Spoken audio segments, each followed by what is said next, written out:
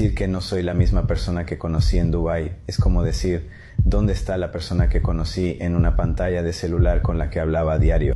Tú dijiste amor y paz, cuando en muchas ocasiones diez dijiste y aún seguías mandándome indirectas para que tu gente y el mundo vea que la mala persona y el villano soy yo.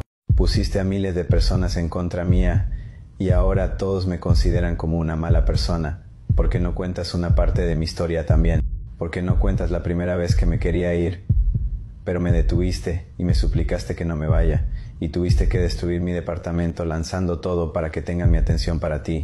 El mundo me ve como la persona que hizo llorar a una niña y que la abandonó en su peor momento a pocos días de su cumpleaños, pero ¿por qué no cuentas cuáles fueron los motivos reales? ¿Por qué no cuentas las palabras horribles que me dijiste la primera vez que me iba a retirar? ¿O los tratos horribles que jamás olvidaré que me hiciste pasar? ¿Por qué no cuentas la historia como fue?